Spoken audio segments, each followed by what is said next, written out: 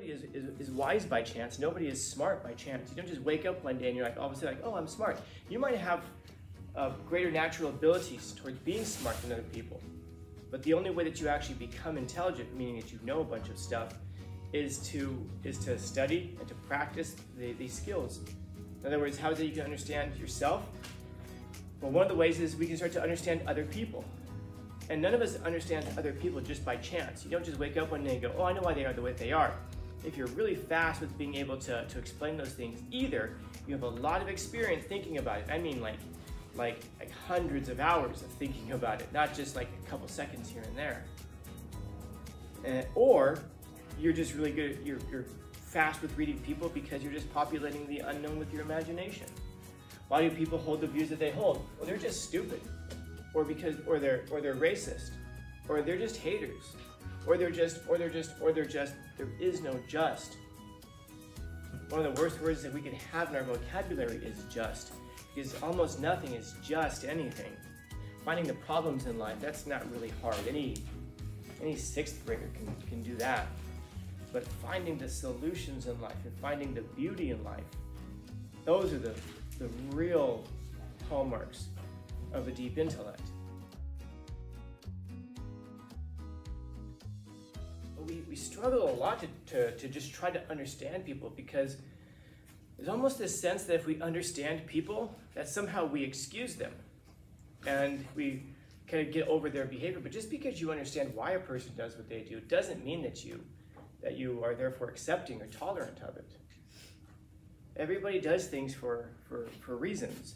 We tend to oftentimes if we don't know the reason, of course, we, we populate the unknown with our imagination. And very often the things that we imagine are the worst possible motives. Why is it that a person, um, I don't know, why is it a person won't like you? Well, we just kind of fill in the blank with our imagination. The thing, the truth is, is that they might have very good reasons for not liking you. They might have very bad reasons for not liking you. It's worth finding out why it is that a person doesn't like you, if it matters. But I suppose we wouldn't be having a conversation about it ever if it didn't matter. The reason that people hold the views that they have, the reason that people are the way that they are, it's a really good idea to figure out why people are the way that they are. Not just so that you can understand them, but also so that you can understand yourself because the same kinds of things that shape other people tend to also shape us. We tend to put ourselves outside of that. Like, um, other people are the way they are because they're they're stupid or they're they're they're they're in, they're um, they they don't care about other people. They're inconsiderate, or because they you know they're they're uneducated. They just don't know. Well, how why why are we the way that we are? Oh, because I'm completely the opposite. I'm caring because I take the time to find out. Are you really though? More so than than other people? Maybe, by the way, but you aren't that way by chance it's like nobody is, is, is wise by chance. Nobody is smart by chance. You don't just wake up one day and you're like, all of a sudden, like, oh, I'm smart. You might have uh, greater natural abilities towards being smart than other people. But the only way that you actually become intelligent, meaning that you know a bunch of stuff, is to is to study and to practice the, these skills. In other words, how is it you can understand yourself? Well, one of the ways is we can start to understand other people. And none of us understands other people just by chance. You don't just wake up one day and go, oh, I know why they are the way they are.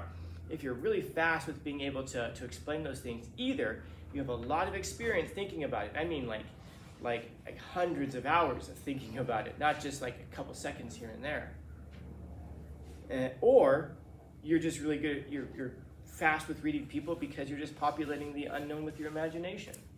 Why do people hold the views that they hold? Well, they're just stupid or because or they're or they're racist or they're just haters or they're just or they're just or they're just there is no just one of the worst words that we can have in our vocabulary is just because almost nothing is just anything it's i mean whatever comes after the word just it's usually bullshit it's just like whatever comes after the phrase all you have to do is is usually bullshit also not always but usually because if things were that simple most of the time, we would be doing it already. But we, we do look for fast solutions. Why is it that people are the way that they are? Well, I could understand them as being a complex individual with a, with a unique set of experiences and interpretations, or I could just call them a name. And then that kind of eliminates the whole need to, to think deeply about why people are the way they are. Because if you think deeply about the way that uh, about why people are the way that they are, then we might understand them. And if we understand them, then my goodness, if they're they might not be as terrible as we as we initially thought. By the way, they might be worse than we initially thought, but they also might not be as bad as we initially thought. But that takes a lot of work, and if you think about where it is that we would oftentimes rather put our, our mental energies. A lot of times we'd rather just put our mental energies into things like, I don't know, entertainment or talking to people talking to people who we you know who we immediately get along with. But some of the best people that you'll ever have in your life are going to be really complex individuals who at first you didn't understand them, maybe at first you didn't even like them. Like it was Oscar Wilde who said that that women will call each other many things before they finally call one another sister. In other words, some of our best friends come out of these out of fights or disagreements or arguments that we have with people. I don't know if this has happened to you yet, but I'm thinking of somebody, a friend of mine. His name is Roz.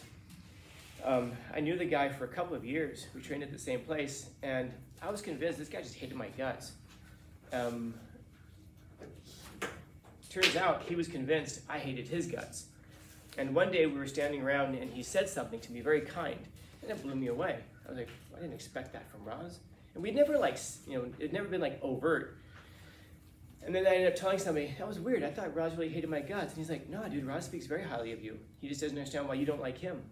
I'm like, I, have a problem with Roz. What are you talking about? And so today, me and Roz were, we're, we're really close.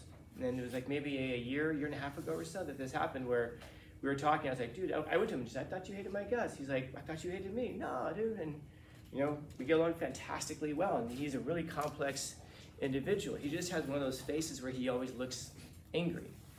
And I, I, I, imagine I have a face like that too. I have people who come in, like it was last Friday. So many people ask me, what's wrong, Cielo? There's nothing wrong. I was just focused on working on something and people just thought I was angry. There's, Guess I just have that face. Um, but you'll find that some of the best, like treasure very often times, uh, treasure very rarely is just sitting on the beach somewhere. You usually have to go finding it, go looking for it. All the, all the simple stuff's already been picked up. Um, and people are like this too to understand why people are the way they are, oftentimes is to, is to come to admire them, to come to like them, to come to see ourselves in them. And of course, some of the people who we hate the most are going to be the people who remind us of ourselves. But some of the people who are, we're going to derive the most benefit from are going to be people who are not like ourselves. Because we get to experience a world that, that we would never experience otherwise, which is to say, we experience it through their eyes, through their experiences, through their perspectives some of the best ways that you can come to, to develop yourself is to listen to your enemies, not even just your friends. Because your enemies, you know, true friend is going to stab you in the front, your enemies will stab you in the back. But once in a while, it's worth figuring out why don't why don't why do people like, why would this person not like me? And if you find out from them why they don't like you, it might reveal something about you that your friends would never tell you. Maybe your friends like you too much to tell you that there's some annoying thing about yourself. Like one of the, um, I go back and when I, when I upload these videos, um, I cringe a lot because I find that there are phrases that I say over and over and over again. I would never notice it because I just say them by nature. For example, I say things like, things like, or I say things like, all of these kinds of things. Um, I find out that I stutter way more than I realize in real time. But what got me thinking about it even more was I had a student who mentioned it to me. He said, you stutter a lot. I'm like, that's great. Way to, way to mention that to me. Or he was saying that I would repeat phrases a lot, especially if I was talking really fast, which means that I was in a hurry to get a point across, which means you rely on your old cliches, kind of like your own speech patterns. I would never have noticed it about myself, even listening to the videos sometimes, unless somebody pointed it out to me. And so sometimes people can point out things about you that you know friends would never say it because they accept you the way that you are or because by that doesn't mean they celebrate you for the way that you are they just accept you for the way that you are or some people will not want to say anything to you because they don't want to cause problems we'll say so they don't want to point out those negative aspects about you that you know maybe you would like someone to point out to you and sometimes people don't like you because they're jealous and because they just hate themselves and but you won't know that until you find out why it is that people feel the way they feel. Now, your, your enemies probably won't be, can do, uh, probably won't be open to sitting and talking with you and, and explaining to you why they, they don't like you. But it's a good thing to maybe look at yourself and examine yourself and figure out why wouldn't this person like me? Because they have a reason for it. They probably didn't just wake up in the morning and say, "Well, I'm gonna, I'm, not, I'm, I'm gonna not like this person. I'm gonna find something to, to, to nitpick at." You know, and sometimes, like I said, it's really just. I don't remember if I was telling you guys this, but one of my students last year was telling me that she was walking down the hallway after lunch and she was with a friend of hers and he asked her where she was going. So she said, oh, I have, I have Scanlan's class. And her friend, who wasn't a student of mine, said, oh, I, I hate that guy. And she was like, why? It wasn't even my student. It knows nothing about me. And he just says, I don't know, it's just, I can't stand his face. There's something about his face I don't like. Okay. All right. Does, does that make sense? Yeah, I guess so, because there's sometimes there's just something and you can't explain what it is. I don't know. What am I to do? Go to the guy and say, hey, stop hitting me because of my face? No, if I had a choice, I certainly wouldn't have chosen this face if I had a choice of faces. But sometimes you're going to find out that people don't like you because of seemingly irrational reasons. Now, what is it about my face? Oh, I bet if I sat with him and with this person and had a conversation, got a chance to ask a bunch of questions, I could probably get down to the bottom of what it is about my face. I think I probably would know what it is without even talking to him. It'd be interesting to be able to confirm that. But sometimes people will like you, uh, will, will hate you for stuff like that. And by the way, we'll, we'll get upset about that, but you realize that some people like you only because of your face. That's hap- that happens also. And so, figure out why it is that people are the way that they are. He says here, pain and suffering are always inevitable. It's going to happen for a large intelligence. Why? Well, because the smarter you are, the deeper you think about things. The deeper you think about things, the deeper you take things. And the deeper you take things, well, you start to get to the, to the root of, of a lot of suffering. And not, and again, it doesn't have to be that you only investigate suffering. I know that we, we talk about it a lot in this class, but there, there's a reason for it. And if you took, if you, if I see you again in 12th grade, you'll maybe see the reasoning behind it. But he says here it's, it's, a, it's, in, it's inevitable for a large intelligence and a deep heart. So to feel deeply is also to see the suffering in things. And it's not just because everything is terrible, but it's just that you see the terrible things of it, which, by the way, finding the problems in life, that's not really hard. Any, any sixth grader can, can do that. But finding the solutions in life and finding the beauty in life, those are the, the real hallmarks of a deep intellect. Anybody can criticize. Anybody can talk about how, how messed up things are. Anybody can see the problems in life because they're so obvious.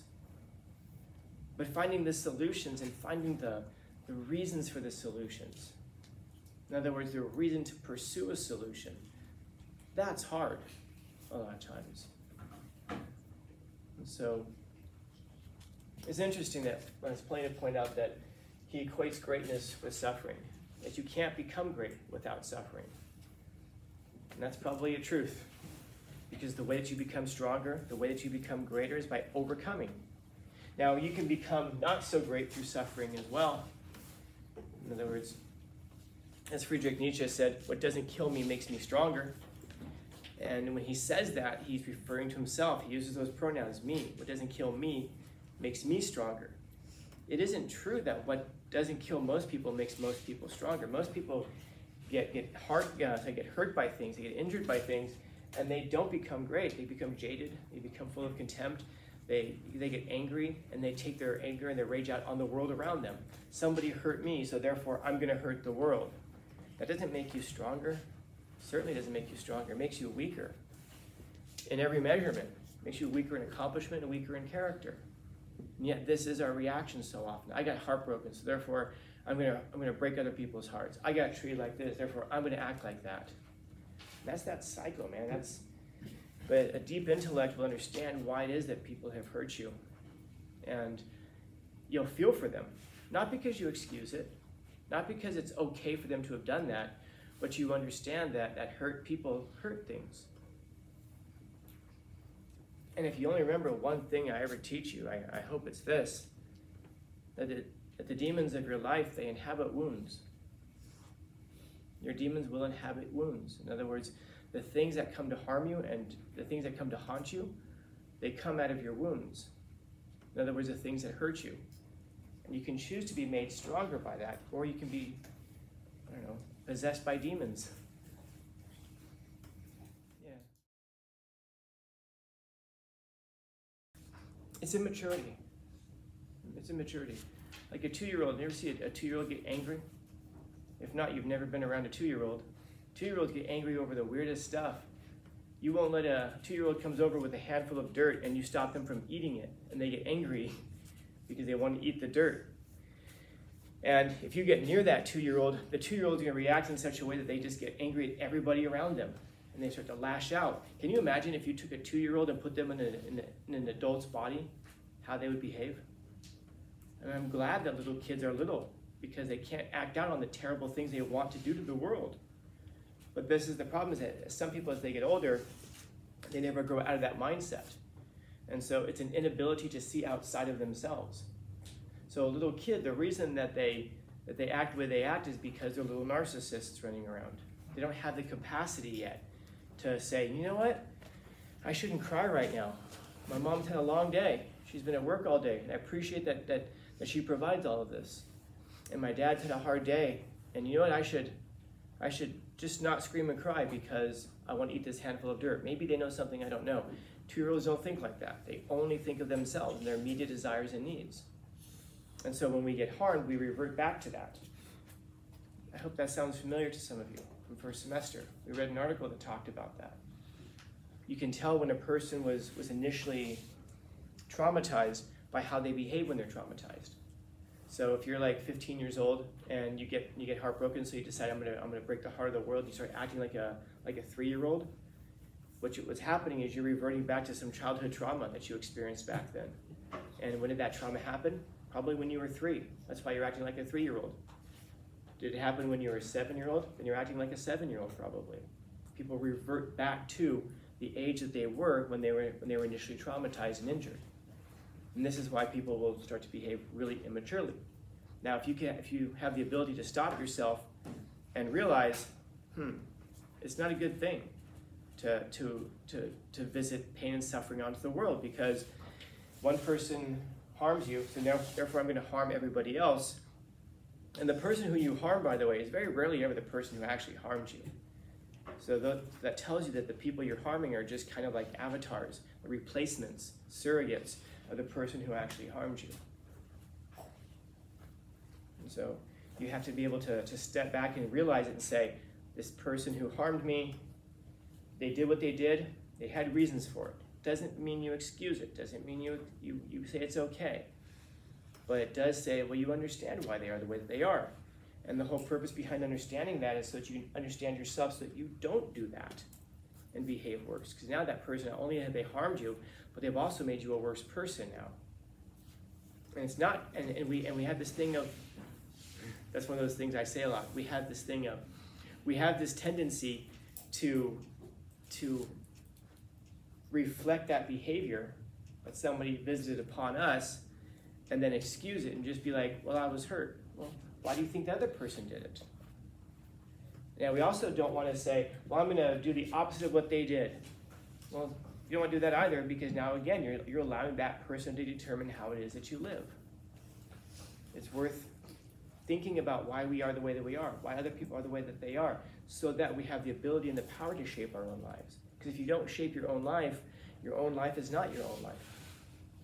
It's the life that somebody else is creating for you through their actions on you. You're just basically at that point a bundle of chemicals walking around in the universe that are they're reacting to external stimuli. But you're so much more than just that. A lot of people just don't realize that they're more than that though. And that's why we react that way.